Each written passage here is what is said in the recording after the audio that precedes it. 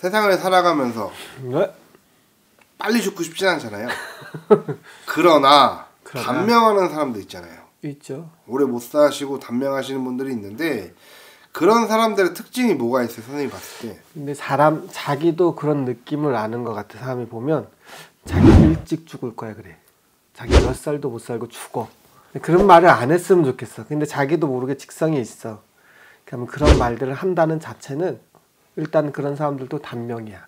명이 길지 못해 보면. 음?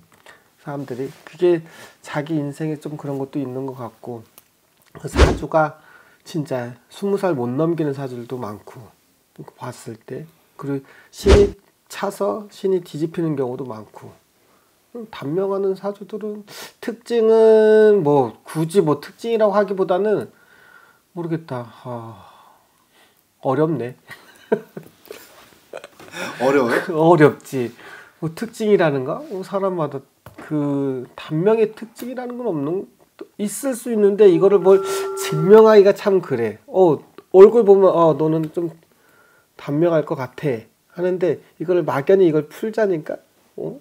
사람을 보면 알 수 있을 것 같아 그냥 느낌이 그때 그때 느낌으로. 그때 그때 느낌이 알 수 있는데 근데 제일 하지 말아야 될 건 입으로 입후함하지 말라고 하거든 자기가 나 빨리 죽을 거야 근데 그런 사람들은 음 자꾸 그런 소리 하면 자꾸 몰라 명제촉하는 것 같아 보면 그럼 차라리 이런 소리 하는 게 낫겠네, 선생님. 왜?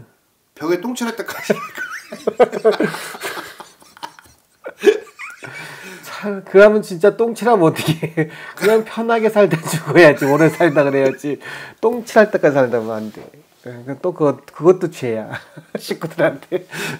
그래요?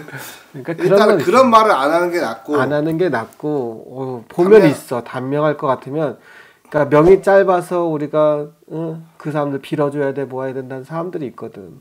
음, 그 이제 얼굴 보면 나타나는 것 같아. 그러니까 얼굴을 보지 않는 이상은 조금 힘들다. 이거를 어떻게 증명할 수가 없는 것 같아. 아니면 사주를 풀든지 뭐 사주 특징 같은 게 없다 별로. 어, 단명하는 띠 명이 짧은 띠는 있는 것 같아. 응?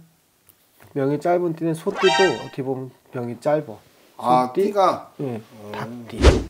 내가 볼 때는 이 사람들은 좀 명이 좀 이- 이렇다고 다 아니에요. 그러니까 소고기 닭고기. 응. 그 그분들이 보면 풍파가 많은 것 같아. 그래서 그런 사람들이 조금 명이 짧지 않나. 그렇다 다 짧은 건 아닙니다.